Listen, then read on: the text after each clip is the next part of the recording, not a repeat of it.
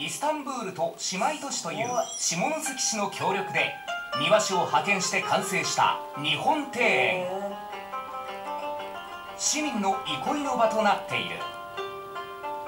とそこにあ女性いますね。あの人歌えねえかな。こんにちは。声をかけてみると話を聞くため門へと急ぐ。日本語上手お上手ですね。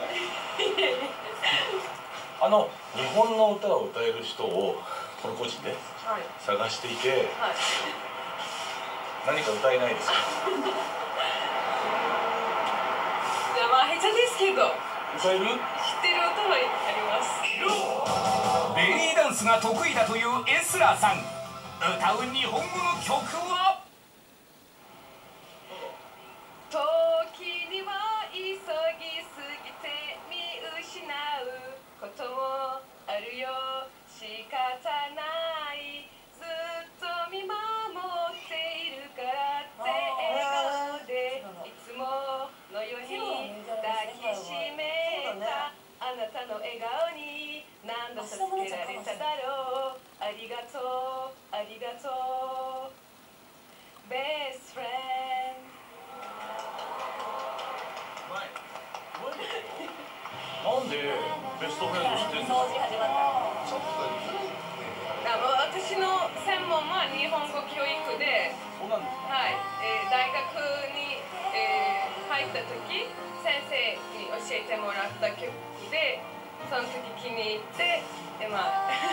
エスラさんの日本でのベストフレンドいますか？います。初めて日本に行った時ホームステイ、えーしたところのお母さんが一番仲いいと言ってもいいと思います。はいどこにホームステイしたんですか？和歌山県の串本町エスラさんがホームステイに選んだ場所が和歌山県の串本町。実は串本町は日本とトルコをつなぐ絆を作った場所。そこには悲しくも心温まる出来事がへえいい。話和歌山県串本町にホームステイしていたエスラさん。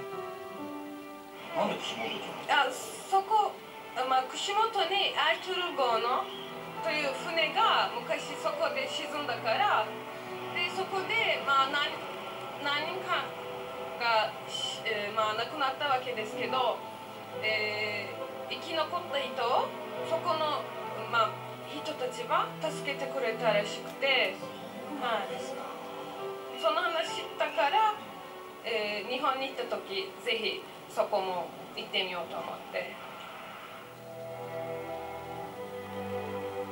1890年トルコの船エルトゥールル号が和歌山沖で嵐に遭遇し沈没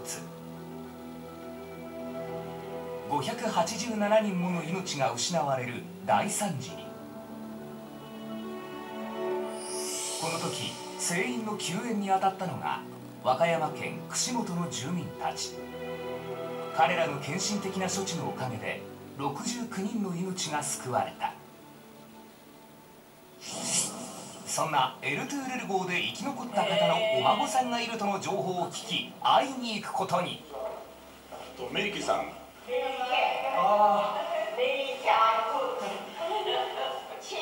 スリッパどうぞ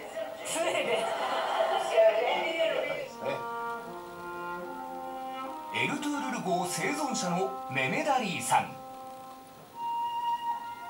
そのお孫さんのメリケさんに詳しい話を伺った。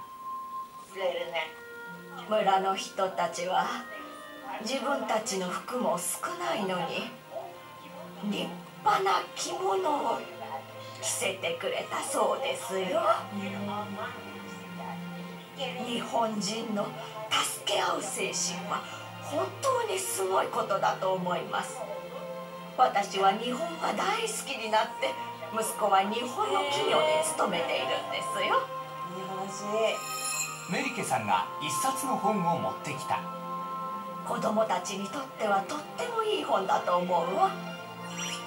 エルトゥールル号沈没での日本人の助け合う精神を後世に伝えるため制作された絵本多くのトルコ人が読んでいるという。そうなんだ。嬉しい。そしてイスタンブールの公園には犠牲者を悼む慰霊碑が置かれている。トルコ人が親日で日本の歌を歌えるのはかつて串本の方が築いてくれたかけがえのない絆があったからなのだ